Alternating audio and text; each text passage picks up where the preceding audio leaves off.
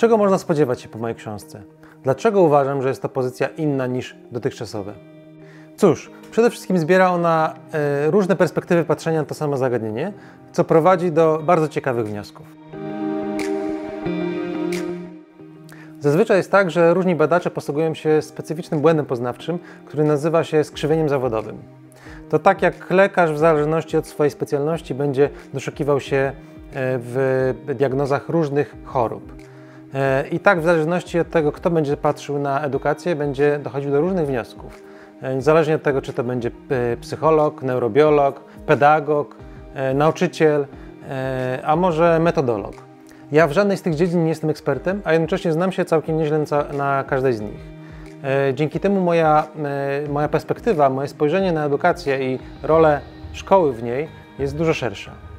Do mojej analizy zaprzęgłem szereg narzędzi, w szczególności nauki empiryczne, takie jak e, empiryczną psychologię, neurobiologię, antropologię ewolucyjną lub szeroko pojęte nauki ewolucyjne, ewolucjonizm, ale też empiryczne nauki dotyczące metod nauczania.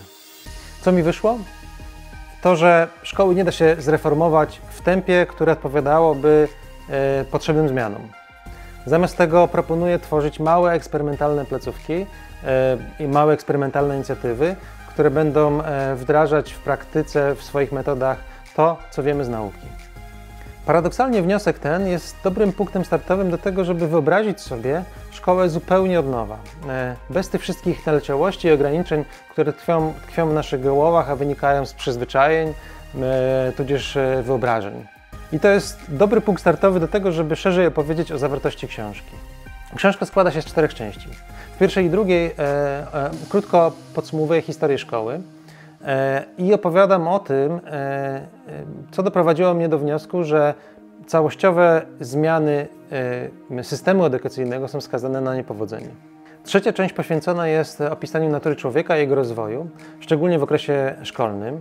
E, w tej części bardzo mocno sięgam do wspomnianych wyżej nauk. Czwarta część to już jest konkret. Opis tego, w jaki sposób może wyglądać szkoła przyszłości. Obraz, który opisuję w czwartej części książki, wynika z wiedzy o naturze rozwoju człowieka, który z kolei jest przedmiotem trzeciej części książki. Obie te części, trzecia i czwarta, są ze sobą splecione pajęczyną powiązań. Dla przykładu w czwartej części książki opisuję e, pomysł na to, w jaki sposób można przestrzennie zorganizować szkołę. Tutaj inspiracją są e, szkoły leśne, czyli tak naprawdę przestrzeń, ciekawa przyrodnicza przestrzeń, która jest zaaranżowana, w której są pojedyncze budynki, pojedyncze miejsca, które można wykorzystywać e, na wszelkie różnorodne sposoby. Nie kojarzy się z nowoczesnością? Nie ma żadnego powodu, aby współczesna, nowoczesna szkoła przyszłości e, korzystała z e, najnowszych zdobyczy elektroniki w jakiś masowy sposób tylko dlatego, że one są najnowsze. Zamiast tego e, powinna być tak stworzona, aby móc wykorzystać jak największy potencjał rozwoju, naturalnego rozwoju dzieci w wszelkich płaszczyznach, na płaszczyźnie fizycznej, emocjonalnej, społecznej, poznawczej. Takie miejsce, w którym będzie, dzieci będą czuły się bezpiecznie, takie miejsce, które będzie ułatwiało edukację, takie miejsce, które będzie ułatwiało naturalny rozwój. Jednocześnie ta przestrzeń ma ułatwiać e, kontakt pomiędzy nauczycielami a dziećmi, naturalny kontakt pomiędzy nauczycielami i dziećmi, tak żeby obie te grupy się nie rozdzielały, żeby dzieci też miały łatwiejszy kontakt z tutorami.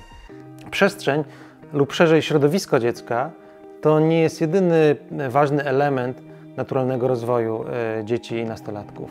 Dlatego e, w książce piszę o bardzo wielu elementach wpływających właśnie na ten naturalny rozwój na płaszczyźnie fizycznej, emocjonalnej, społecznej, również poznawczej, ale też e, piszę o potrzebach nieuświadomionych, takich jak potrzeba słońca czy potrzeba zabawy, które, jak wiemy z nauki właśnie, również bardzo mocno wpływają na rozwój. Książkę uważam za pozycję obowiązkową dla każdego nauczyciela i rodzica, ale też dla tych osób, które mają odwagę wyjść przed szereg i tworzyć e, edukację od nowa, tworzyć szkołę od nowa. Jeżeli jesteś zainteresowany poruszanymi przeze mnie tematami, jeżeli zachęciłem Cię do kupna książki, to już dziś możesz ją kupić przed sprzedaży i tym samym stać się jej współwydawcą. Aby to zrobić, wejdź na stronę e, wspieram.to łamane przez e, Szkoła od Nowa i tam znajdziesz więcej informacji, również o samej książce. Mm, zapraszam.